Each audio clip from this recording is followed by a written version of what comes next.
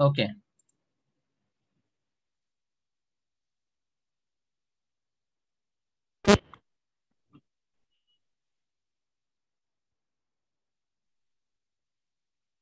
So first of all, I'll just give a brief introduction about the ELISA concept. Uske we'll take some examples and then whatever doubts you have, you can ask. So ELISUB is nothing but elimination and substitution competition. So whenever we have the nucleophile or a base, nucleophile or a base, there are always these two reactions competing with each other. अब कौन सा reaction dominate करेगा that will be decided by many of the conditions तो वो conditions देखकर you have to decide which particular reaction is going to happen and which can get eliminated okay so the major mechanisms which we are supposed to know are e1 e2 e1cb under elimination and nucleophilic substitution mein majorly we got to know SN1, SN2. But iske alawa, we have already talked about SNI also with a special case of alcohol and thionyl chloride in ether. And we have also talked about SNAR. SNAR matlab nucleophilic aromatic substitution. मतलब briefly अगर हम elimination और nucleophilic substitution की बात करें So these are the most important reactions which you should be knowing. और हर एक का mechanisms आपको at least basic part पता होना चाहिए जैसे if I start with elimination का E1. So what are the main points which you can think about E1? कौन से कंडीशन में होगा E1?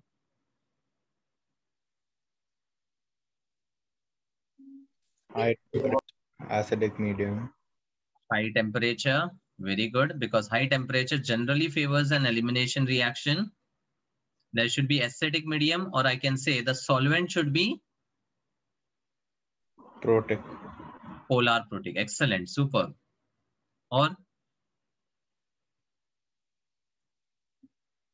OH group should be present.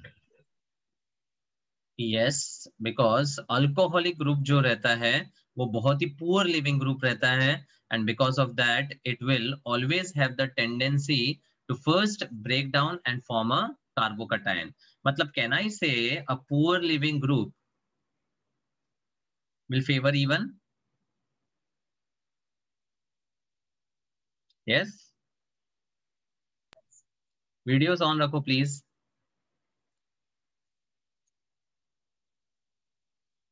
anything else about the number of steps whether there is an intermediate or not?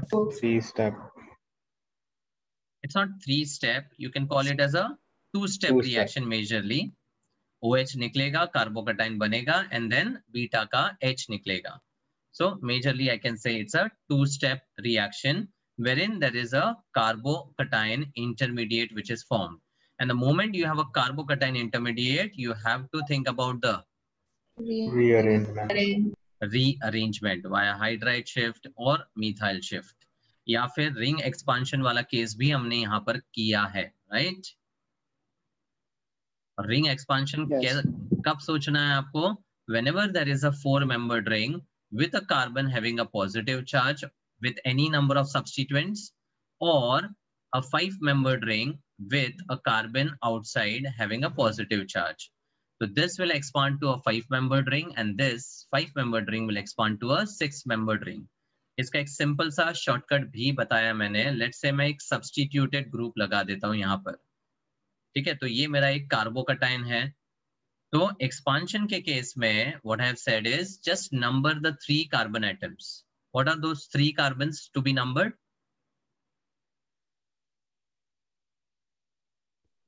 positive charge carbon. Positive charge carbon is one of them. Then carbon bonded to it.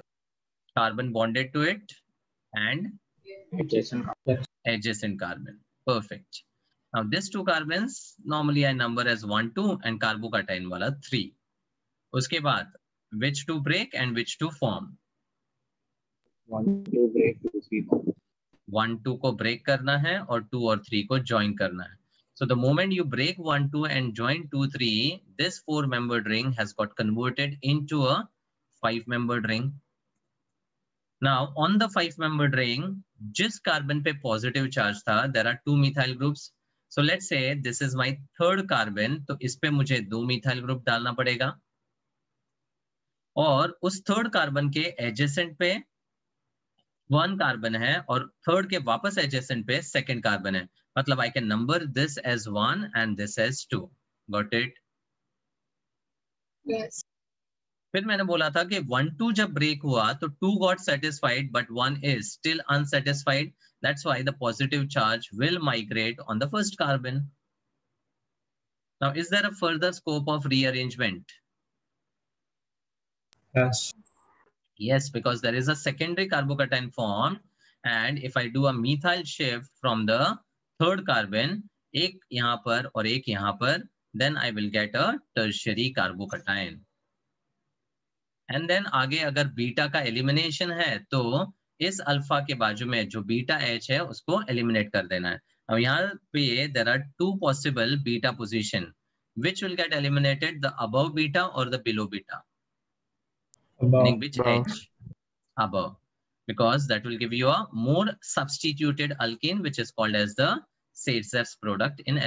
Reaction ठीक है तो ये basic rearrangement का concept था। Through the ring expansion example ठीक है तो E one reaction कब कब सोचोगे whenever there is high temperature in fact in general whenever you see heat on the reaction there will be a favorability of elimination और even जो है वो पोलर प्रोटिक सॉल्वेंट यानी H प्लस एसिडिक मीडियम में favour करेगा it is generally applicable when the leaving group is poor it's a two step mechanism with the carbocation intermediate hence the rearrangement part is very important over here now इसके contrast में if we talk about E2 then what are the important things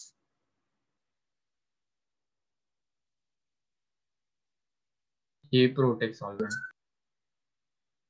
aprotic solvent अब यहाँ पर elimination के case में solvent का इतना कोई रोल नहीं है in case of E two यहाँ पर there is not a nucleophile which is getting attacked on the substrate there is a base तो टाइप ऑफ़ द बेस पे बात करो। Strong base Strong. it has to be a very strong base. Can you give example of strong base? मतलब कहीं पे ETO minus ET O H लिखा है, ठीक है? तो यहाँ पर तो क्लियरली आपको सोचना है दैट स्ट्रॉन्ग बेस है मतलब एलिमिनेशन फेवर कर सकता है। अब यहाँ पर ETO माइनस जो है ना that can also act as a nucleophile so as a nucleophile if it is attacking the substrate it will be a but if it is attacking the substrate by removing the beta H then it will behave as a base. मतलब alkoxide जो है, वो एक base की तरह भी काम कर सकता है and it can also behave as a nucleophile ठीक है? अब कौन सी कंडीशन में आपको बेस सोचना है? कौन सी कंडीशन में nucleophile that is something we can understand from the examples ठीक है? यहाँ पर हाई टेम्परेचर के साथ I can say there is a base which would be required but E2 reaction is undergone only with the strong base. Now, alkoxide के अलावा the sodamide, do you remember sodamide? Is also a very strong base. And where have we used NaNH2?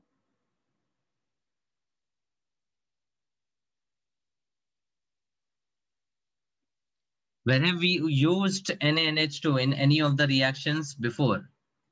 डिहाइड्रोहाइड्रोजन डिहाइड्रोहैलोजनेशन उसमें generally हम double dehydrohalogenation में alcoholic KOH followed by NaNH2 use करते थे। बराबर? तो वहाँ पर मैंने बहुत इंपॉर्टेंटली स्पेसिफाई किया था that sodamide is a much stronger base even than the alkoxide in fact in fact यहाँ पर जो आर नेगेटिव है what is that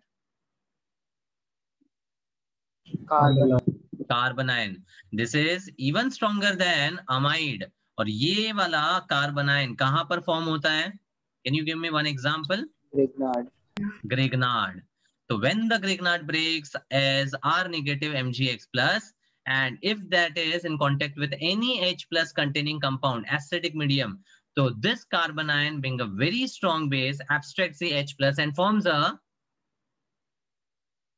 Okay. Alkane or a hydrocarbon in general. Correct? तो ये चीज़ें हम ऑलरेडी पढ़ चुके हैं nothing new in it carbanion amide या sodamide then alkoxide these are very strong bases ठीक है सॉल्वेंट का इतना कुछ इंपॉर्टेंस नहीं है यहाँ पर E2 के लिए the type of the leaving group should be Good living. Good. Good leaving group ये जनरली आप हेलाइड्स में देखते हो ना एंड हेलाइड्स में the X is a very good leaving group and E two is a one step concerted reaction concerted reaction मतलब जो base का अटैक है और लिविंग ग्रुप का निकलना that will take place simultaneously. So it's a one step concerted mechanism. Remember the word concerted. There is no intermediate over here which is formed. ठीक है? तो ये जस्ट कुछ इंपॉर्टेंट पॉइंट है। Now E1 and E two what is the order of reactivity for the type of the substrate is it primary secondary tertiary और the reverse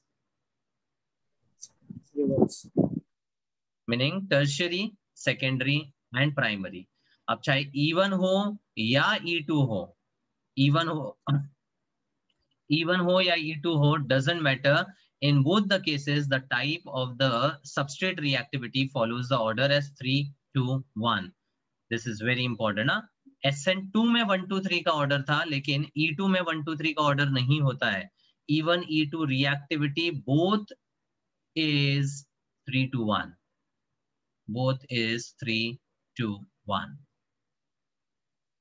बराबर और यहाँ पर एक सिंपल शॉर्टकट बताया था मैंने दैट अगर एलिमिनेशन के लिए रिएक्टिविटी समझना है तो इवन के लिए इवन के लिए you have to just identify the what is the important factor for E1 Carbocation. Conformation. Stability of carbocation जहाँ पे भी कार्बोकटाइन है उसका reactivity is dependent on carbocation stability मतलब just understand the Bawa rule over here but E2 का अगर reactivity समझना है तो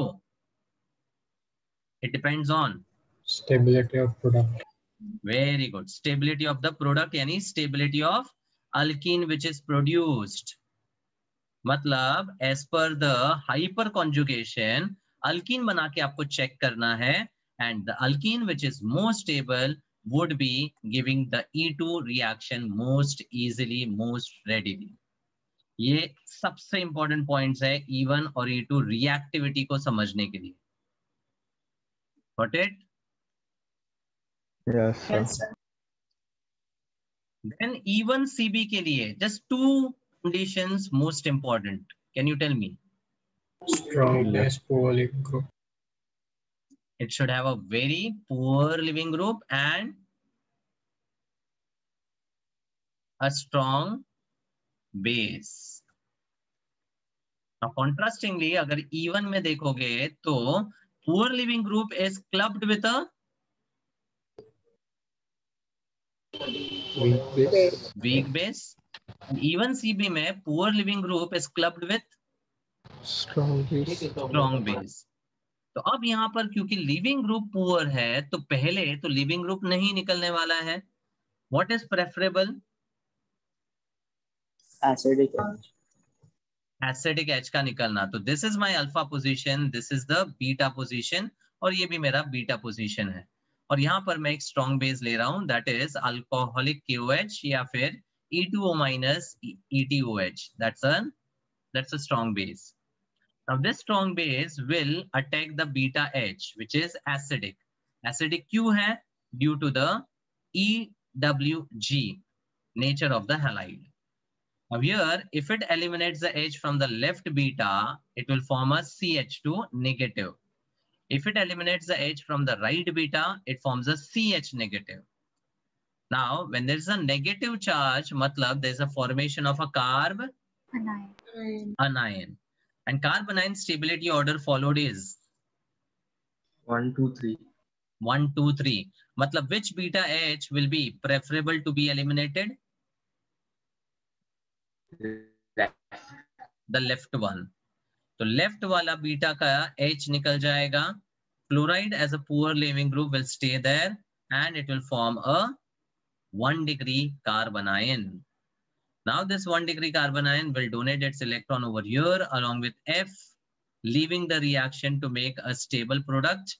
And finally, the product which we get is but 1 ene. But 1 ene.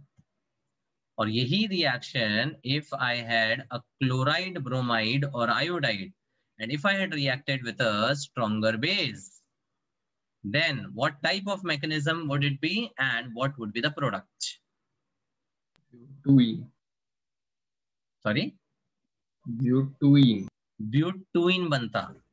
क्योंकि minus as a strong base ना won't attack the beta H first because the chloride is now a good living group. तो यहाँ पर chloride का निकलना और ETOH का beta पे अटैक करना will take place simultaneously. And this will follow a single step elimination, which is the E2 concerted mechanism. And the product would be butane, जिसके दो products बनेंगे and trans geometrical isomers. Mm, ज़्यादा specifically, trans would be the major product. So when there is a more substituted product, we say it is the Sate-Zep's product. Sate-Zep's product. And when it is a less substituted one, it is the Ulta Sate-Zep, which is called Hoffman. Hoffman's elimination. तो यहाँ पर हॉफमैन्स का product बोलेंगे अब poor leaving group के examples एक तो fluoride है ही वो तो दिख रहा है। फ्लोराइड के अलावा if somewhere you see NR3 plus the ammonium और SR2 plus the sulfonium dialkyl sulfonium trialkyl ammonium ये सारे लिविंग ग्रुप भी बहुत पुअर है। तो इसके साथ अगर कोई अल्काइल लगा हुआ है, then definitely that would give you the E1CP वाला elimination reaction. समझा? yes, sir. So this is a very clear difference between E1, sorry, E1CB and E2. E1CB and E2. अब if I talk about SN1 versus SN2, तो SN1 के important points, Bulky substrate.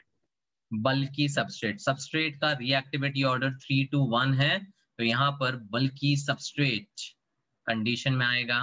Then polar solvent should be polar protic yes और there is a carbocation formation तो it's a two step mechanism with the carbocation intermediate मतलब once again yeah you have to think about the rearrangement and the SN1 reactivity would be just dependent on the stability of carbocation मतलब कहीं पे भी question अगर आता है what is the correct order of reactivity for SN1 think of BAWA and the order of stability of carbocation the answer is done and type of the nucleophile SN1 में कैसा होना चाहिए it should be a weak nucleophile meaning इस reaction का जो RDS है उस case में the rate is depend, dependent only on the concentration of substrate and not on the concentration of the Nucleophile. nucleophile. तो अब यहाँ पर क्वेश्चन आता है कि if the concentration of substrate and nucleophile both are increased by two times, then SN1 का rate will increase by Two times. two times only, क्योंकि सिर्फ़ सबस्ट्रेट पे डिपेंड कर रहा है। लेकिन यही चीज़ अगर एस एन टू में क्वेश्चन आया तो it will be four times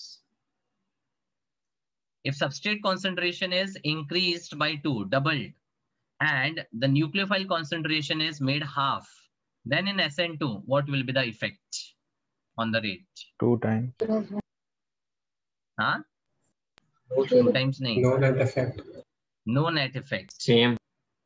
why because nucleophile को half कर दिया है और substrate को double किया तो 2 into half is how much One. 1 मतलब there is no effect Vishwesh is that clear Yes, sir. Substrate को ट्रिपल किया और न्यूक्लियोफाइल को हाफ़ किया तो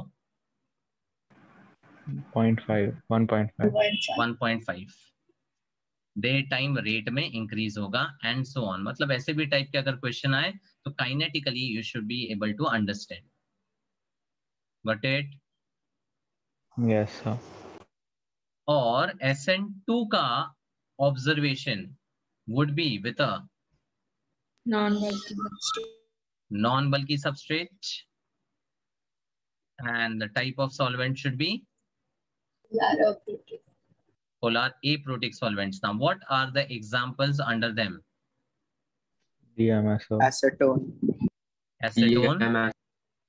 DMF, DMSO, and one more you can remember, Acetonitrile. Acetonitrile. Perfect, very good. Acetone, DMSO, DMF, acetonitrile, ये सब अगर arrow पे दिखता है मतलब you can think about the SN2. Majorly, it will follow the SN2 path. Then SN2 will be favorable with a very strong nucleophile. It is a one-step concerted mechanism, meaning there is no intermediate formed. And up, which important points, SN1 ka reactivity would be dependent on, once again,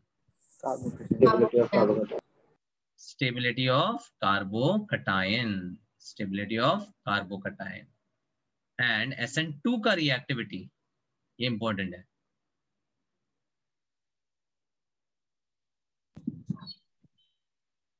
yes और और एक point electron deficient carbon हाँ। Electron deficient carbon that's very important non bulky तो ठीक है वो तो याद रह ही जाएगा। बट एस एन टू में the most important point is it depends the reactivity depends upon the amount of positive charge on carbon which is bonded to the living group तो इसका मैंने एक बहुत इंपॉर्टेंट एग्जांपल दिया था does someone remember SN2 का reactivity सबसे ज्यादा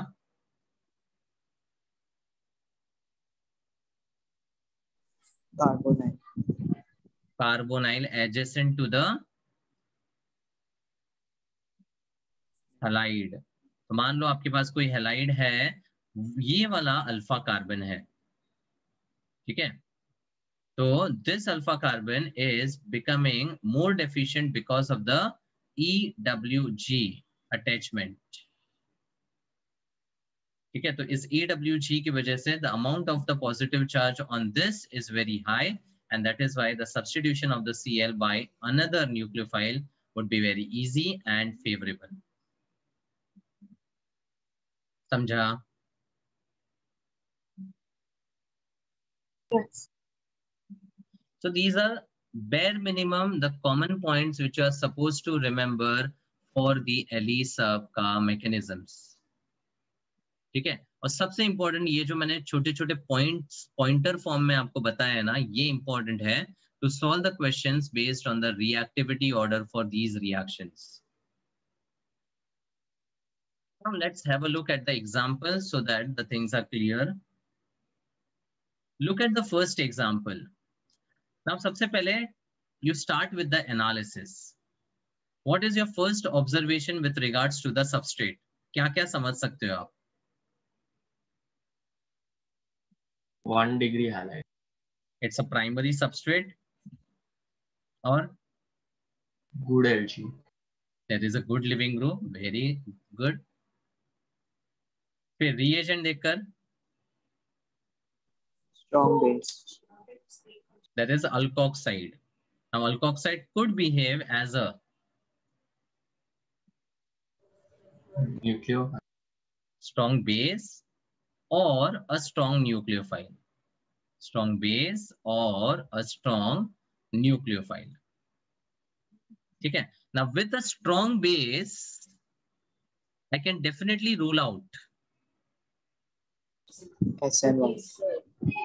SN1 or E1. E1 उसके बाद दो चीज़ें हैं एस एन टू और E two obviously poor leaving group नहीं है तो ईवन सी बी भी गॉन है। तो बेसिकली आपके पास अब दो मैकेनिज्म्स बच जाते हैं एस एन टू और ई टू बराबर? अब इन दोनों में बताओ which will be the favourable mechanism here and why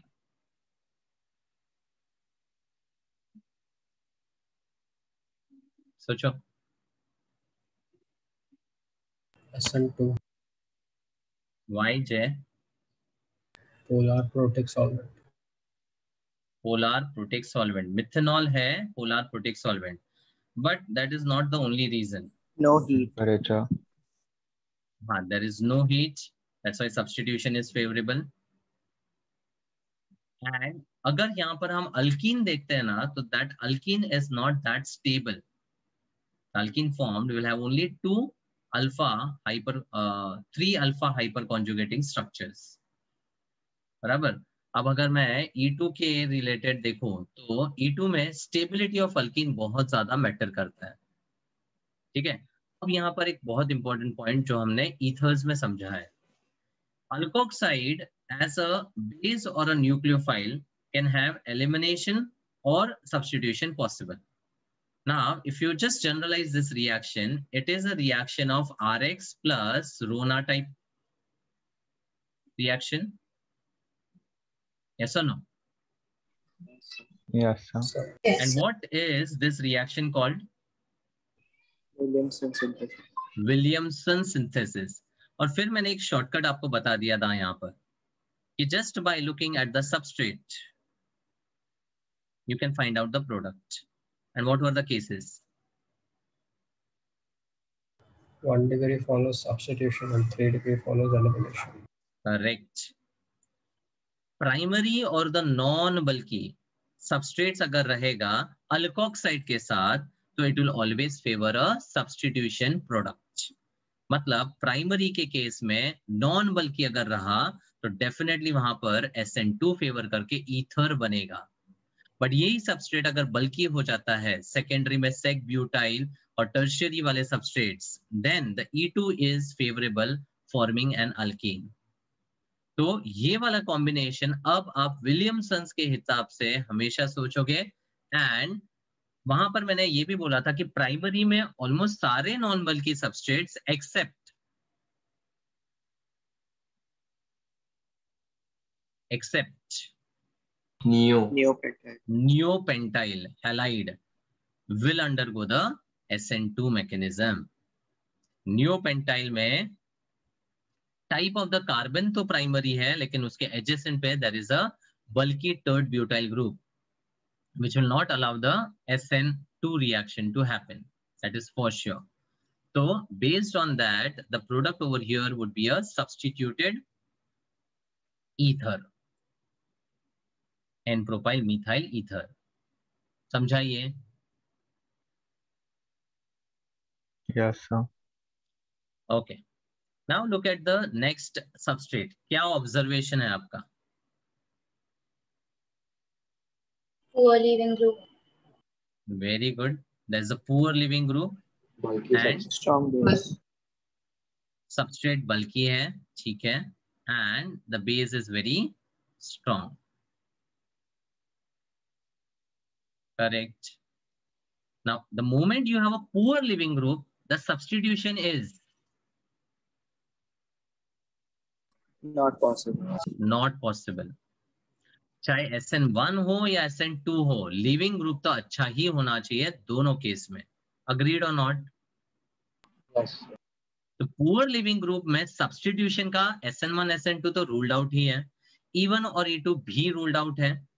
even हो सकता है बट नॉर्मली वहाँ पर एसिडिक मीडियम वाला फंक्शनल ग्रुप होना चाहिए like O H do you agree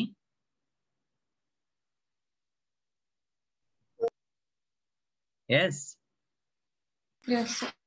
So now definitely the alkoxide over here will act as a strong base.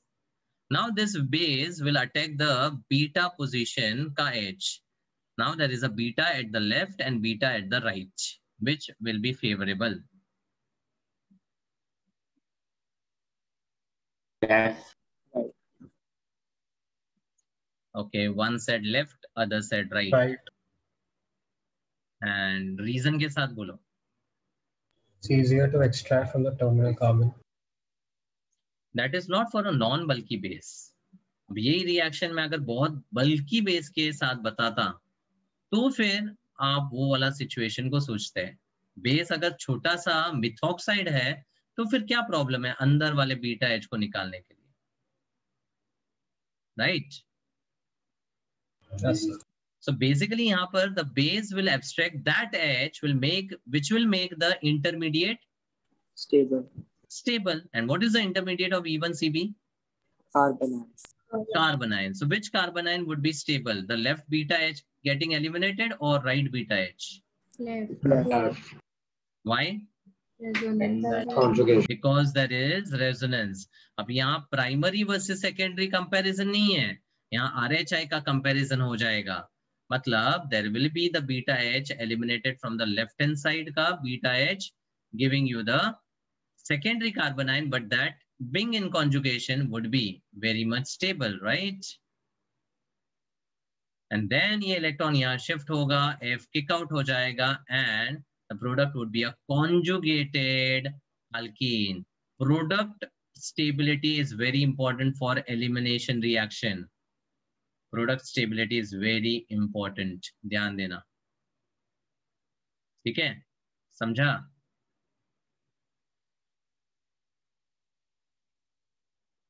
is this clear Yes.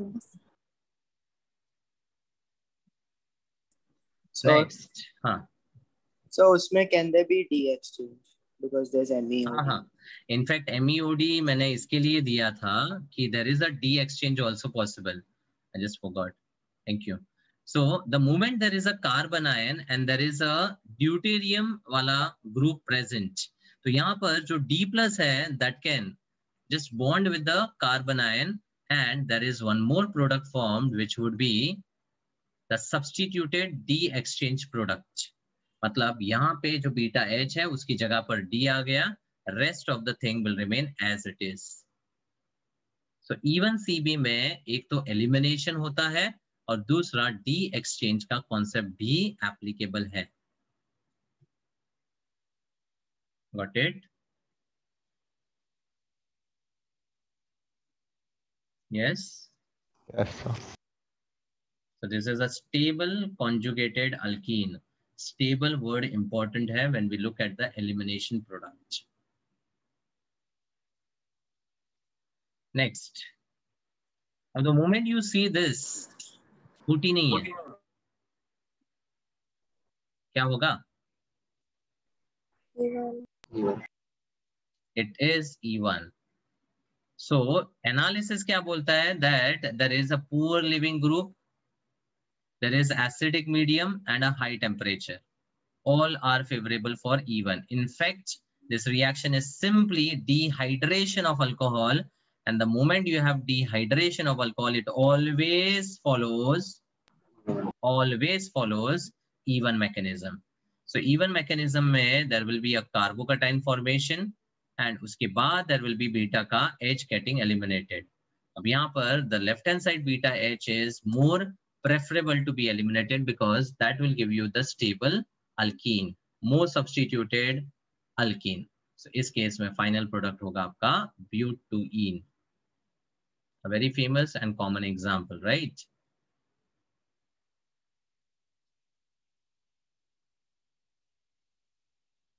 समझा?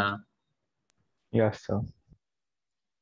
Next, I have a bulky substrate of tertiary and there is ETO minus K plus in the first case and third butoxide in the second case. I hope everyone knows about this now.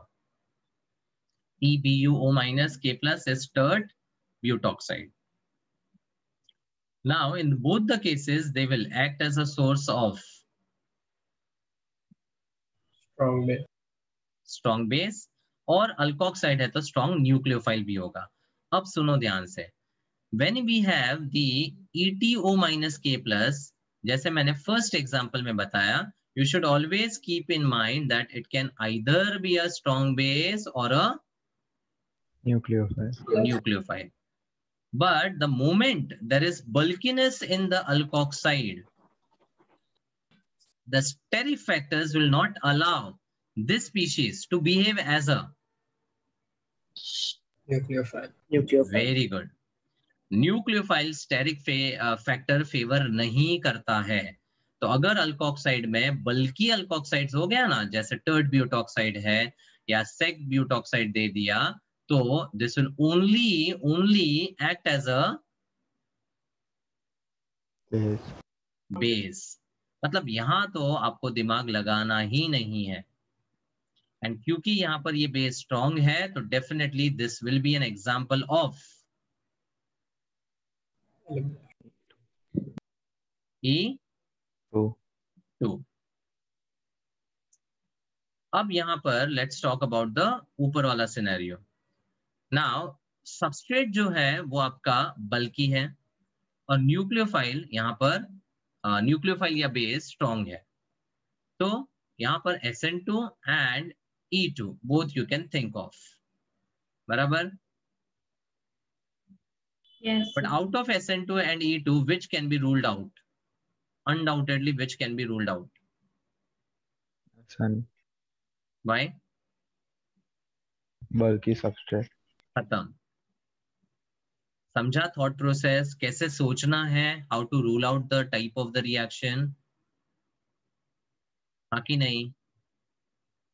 Substrate अगर non bulky होता और nucleophile strong है तो definitely SN2 favour करना है but substrate bulky है और base strong है sorry the negative species is strong then definitely it will be an example of E2 mechanism. अब यहाँ पर आता है बल्किनेस का concept If the base is chota, non-bulky, then it can attack the internal beta position to give you the more substituted alkene. But when the base is bulky, because of the bulkiness, it will be very difficult to abstract the H from the internal carbon chain. Whereas the external carbon or the terminal carbon, ka beta H is more accessible तो क्योंकि यहाँ पर ये वाला ज़्यादा accessible है तो बल्कि बेस यहाँ से H को निकालेगा नॉन बल्कि बेस यहाँ से निकालेगा। मतलब केस वन में there will be a more substituted alkane as the major product and this is called as the Seydseff's product. Yes or no? Yes, sir.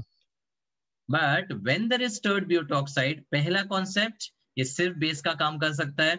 दूसरा कॉन्सेप्ट ये बल्कि है तो टर्मिनल वाले बीटा एच को इजिली निकाल पाएगा। मतलब यहाँ पर the product would be C H three C H C H three C C H three and double bond C H two and this less substituted alkene with less stability as per hyperconjugation would be once again called as Hoffman. Hoffman's product. I hope the things are clear. Yes, sir. Yes. दोनों ही E2 mechanism है लेकिन final जो alkyne product है वो सेटसेप्स versus Hofmann in fact यहाँ पर E2 बोलना थोड़ा गलत हो जाएगा क्योंकि E2 बोलता है that it depends on the stability of the alkene which is formed यहाँ पर तो एक लेस स्टेबल और लेस सब्सटीट्यूटेड अल्किन बन रहा है ना?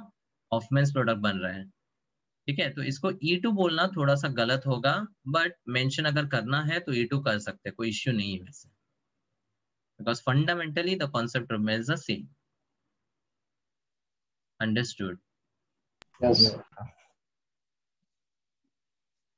now look at this I have a bulky tertiary substrate and there is ETOH and दूसरे में ETOH heat दिया है। क्या होगा? Substitution and other one elimination. Correct the first is a substitution other is elimination और substitution में कौन सा सब्स्टिट्यूशन सोचोगे? SN1. एस एन वन बल्कि है प्लस यहाँ पर ये जो न्यूट्रल अल्कोहल है ना neutral alcohol will behave as a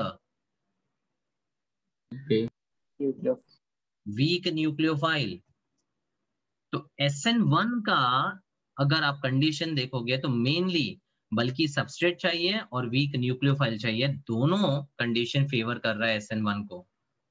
ठीक है? और नेक्स्ट केस में हीट है। तो हीट के साथ कुछ भी दो, कोई फ़र्क नहीं पड़ता है। हीट है मतलब the reaction will be an elimination और पोलर एप्रोटिक सॉल्वेंट है तो E1 फेवर हो जाएगा। समझा तो दोनों ही केस में there will be a formation of a carbocation intermediate if there is rearrangement possible you have to think about that otherwise no issues then the etoh as a nucleophile will now attack the positive charge and फिर deprotonation होकर finally you will get an ether over here oet वाला और अगर ये carbon chiral होता अगर ये तो नहीं है ना क्योंकि दो मिथाइल क्लैश हो रहा है अगर ये कार्बन कायरल होता then how many products would have been formed Two. there will be two one will be 50% inversion other will be 50% retention but अगर more specifically बात करें तो inversion versus retention में for a chiral substrate which is more inversion. in proportion Inversion. inversion slightly more है क्योंकि retention में attack from the same side होने की वजह से थोड़े बहुत प्रॉब्लम्स हो जाते हैं रिपल्शन uh, के लिए।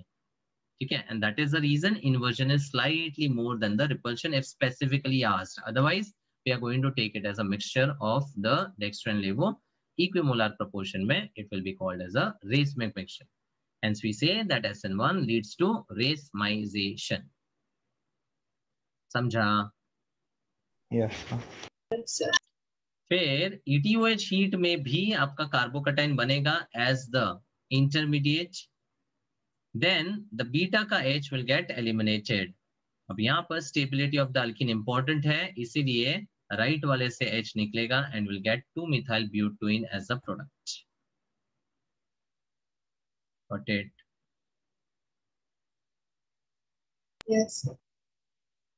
okay next देखो. Can you tell me the elimination directly?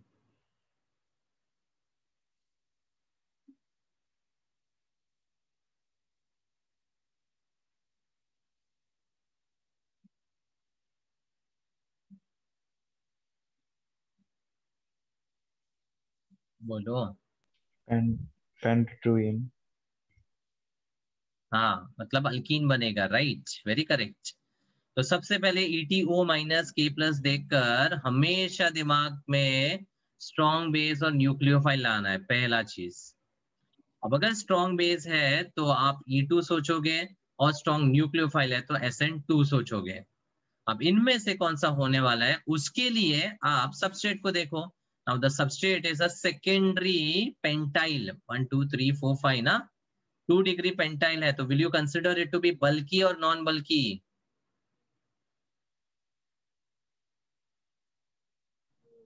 बोलो। बल्कि। बल्कि। तो बल्कि सबस्ट्रेट है तो SN2 गया। बचा आपके पास। E2 खत्म हो गया। रिएक्शन मैकेनिज्म क्लियर है। एंड दैट्स व्हाई यहाँ पर ये अल्फ़ा है ये बीटा पोजीशंस है। एंड मोर सब्स्टिट्यूटेड अल्कीन बनना चाहिए तो the product will be pentene खत्म।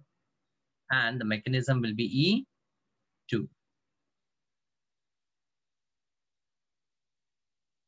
I hope the doubts are getting cleared. Yes, sir. Now look at this. What can you comment over here? Elimination. E1 CB. E1CB elimination correct है और E1CB क्योंकि यहाँ पर there is a ammonium वाला group N R three plus है ना और N R three plus एक बहुत ही पुअर लिविंग ग्रुप है लेकिन N two plus is a very good ये तो एक एक्सेलेंट लिविंग ग्रुप है जो हमने डायजोनियम कंपाउंड्स में देखा है डायजोमीथेन रिएक्शन में भी देखा है। बट अमोनियम के Nr3 plus ions सल्फोनियम के Sr2 plus ions they are very poor LGs poor LGs so now if you think about the E1CB then the first step would be E1CB ion formation. Formation of carbanion मतलब पहले beta का H निकलेगा। अब यहाँ पर मेरा ये alpha है राइट अमोनियम का नाइट्रोजन अल्फ़ा ना? तो ये बीटा है ये बीटा है और ये बीटा है। और बीटा से एच अगर मैं केस वन में निकालू तो I will get a C H two negative बाकी नहीं? Yes, sir. फिर यहाँ पर मुझे इथाइल ग्रुप से H निकालेंगे तो I will get a C H negative C H three और यहाँ पर ये बीटा से H निकालूँगा तो I get a C negative बराबर? मुझे बताओ, ये केस ये वाला तो सेम ही है, ये वाला और सेक ब्यूटाइल वाला, कौन सा कार्बनाइन सबसे ज़्यादा स्टेबल बनेगा? मिथाइल से इथाइल से या सेक ब्यूटाइल से? Ethyl. First one. इथाइल से। फ़र्स्ट वन मतलब?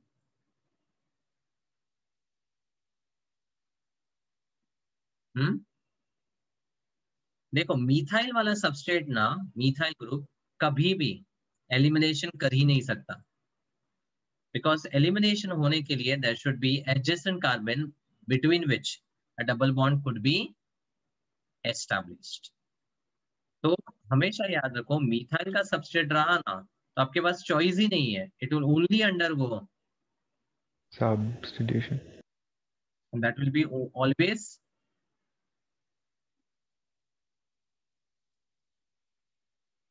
SN2 ना नॉन बल्कि है।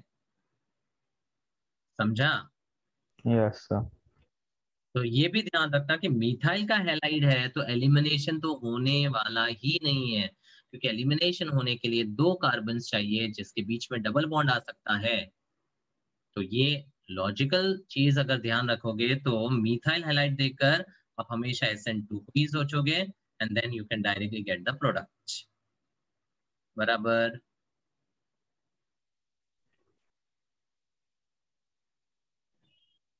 यस और नो Yes, sir. So, तो अब अगर यहाँ से आपका कार्बनाइन सबसे ज़्यादा स्टेबल बन रहा है तो ये जो एन आर थ्री प्लस है ना N with methyl methyl and sec butyl this will eliminate then the electron pair would be shifted between the carbons and the major product of the reaction would be CH2 double bond CH2 ये भी आपका Hofmann elimination product बोल सकते हैं ना even C B है तो। बोलो Yes, sir. So these were the common examples which I have taken from my side, uh, just to brief you with the types of the mechanism and how to apply your thought process towards a given question. I hope with this, uh, जो भी थोड़े बहुत doubts है वो clear हो चुके हैं नहीं हुए हैं तो you can ask your doubts.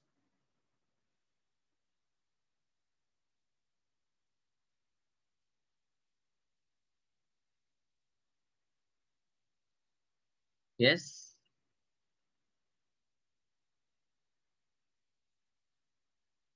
Mansi?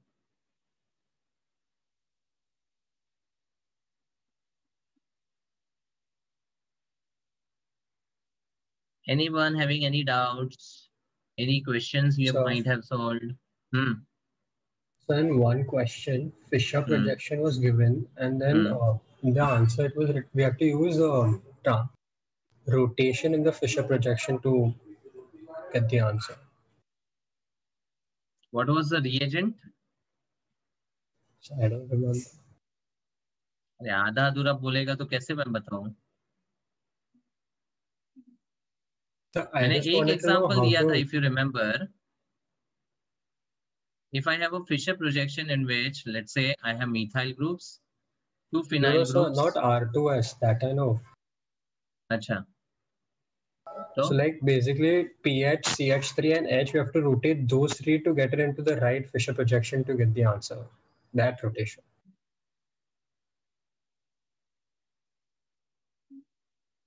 I didn't get the question still. मतलब फिशर में ही दिया है Yes, sir. So I'll Yeah. find the question and send it. हाँ मैंने कल ही बोला था जो भी डाउट्स है आपके सेंड कर लो so that we can have a discussion So can you explain the last reaction?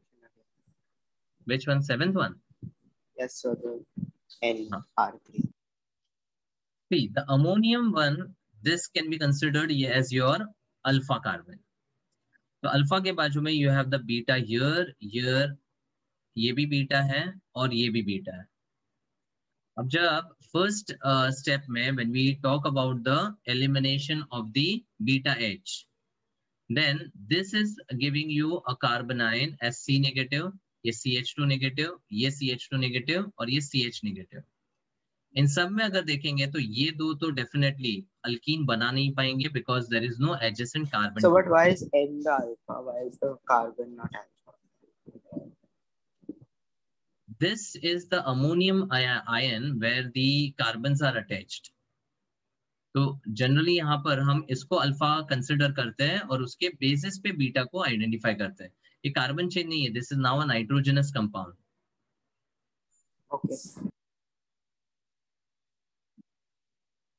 it Yes.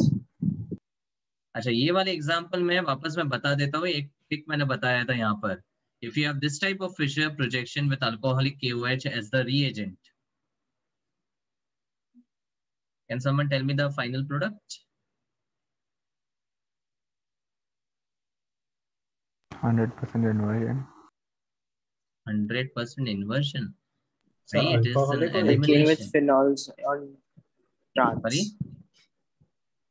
हाँ तो मैंने शॉर्टकट क्या बताया था that if the dehydrohalogenation का H and Br are on the same side the alkene which is formed will have the phenyl groups on the opposite side मतलब यहाँ पर कुछ प्रोडक्ट ऐसा मिलेगा with phenyl phenyl on the opposite and methyl methyl also on the opposite यही चीज़ अगर H और Br opposite रहते तो phenyls would have come on the same side तो सिंपली आपको इतना ध्यान रखना है कि इस तरह का कोई डिहाइड्रोहालोजनेशन रिएक्शन है तो the product will be a trans on the same side the groups on the opposite side in the product if hbr is on the opposite side the groups which are present over here they will be on the same side अब इसका पूरा mechanism draw करके आप final product तक पहुँच सकते हो but this is something you can remember directly as a shortcut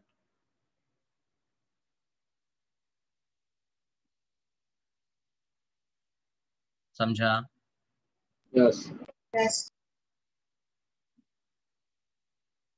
Chalo, anything else? Any so, conceptual doubt? So if there's a isocyanide and you do hmm. hydrolysis of that, hmm. Hmm. then the R-NH two that is formed, that is not always primary, right? Why? If the R is isopropyl, then so will it will it become N-propyl no amine no no no become- rishi you're getting the concept wrong. Amines mein the classification is not done on the basis of the type of carbon. Amines are classified on the basis of the type of nitrogen. So if the functional group is having nh2 we call the amine to be primary. If the functional group is nh then we call the amine to be secondary. If the functional group is n then we call the amine to be tertiary मतलब इस NH2 पे whatever is the type of the alkyl whether it is ethyl isopropyl or tert butyl the amine is always a primary amine Okay. sir. समझा Yes.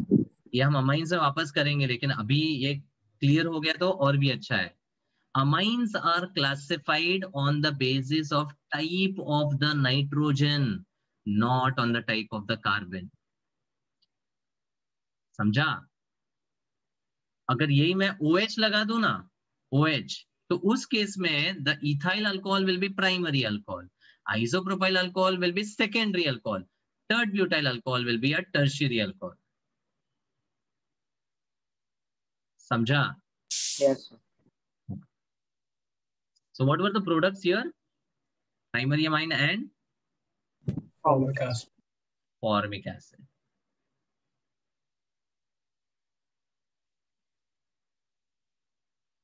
So what is 2 comma 4 DNP? it's a reagent to distinguish between aldehyde and ketone sorry sorry it's a reagent to identify the aldehyde and ketone not distinguish sorry to identify मतलब basically क्या होता है two four DNP reagent इसका full form चाहिए तो बताता हूँ it's two comma four di nitro phenyl hydrogen di phenyl hydrogen when it reacts with the carbonyl whether it is aldehyde or ketone it always gives you a product which is orange in color एक orange precipitate बनाता है so this orange precipitate is a confirmation for the carbonyl group which is in turn the confirmation for either aldehyde or ketone ये भी हम next chapter में पढ़ेंगे Even acid. no when i say carbonyl मतलब यहाँ पर मैं सिर्फ़ aldehyde और ketone की बात करता हूँ now acid and esters have reactivity different than the aldehyde ketone if you remember मैंने reduction के टाइम पे ये कॉन्सेप्ट बताया था अकाई के टाइम पे do you remember Yes. sir. क्या था यस सर बोल के कहा गया अच्छा मैं कुछ बनाता हूँ फिर आप अपना दिमाग लगाओ। Sorry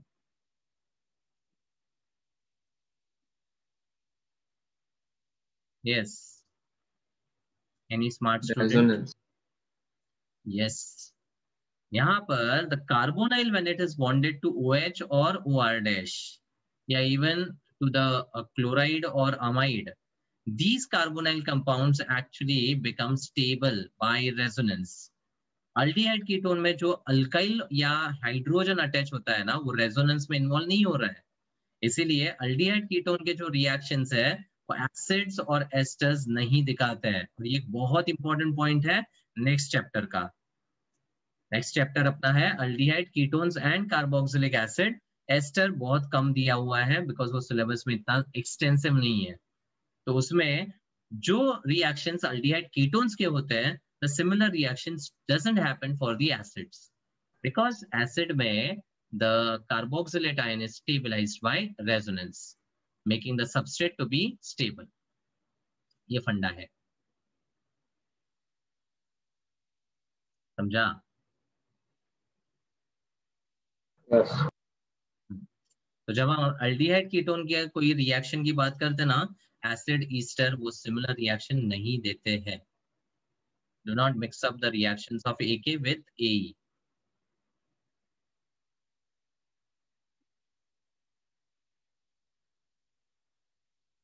clear चलो anything else any conceptual doubt if you have you can ask in the ally सब कॉन्सेप्ट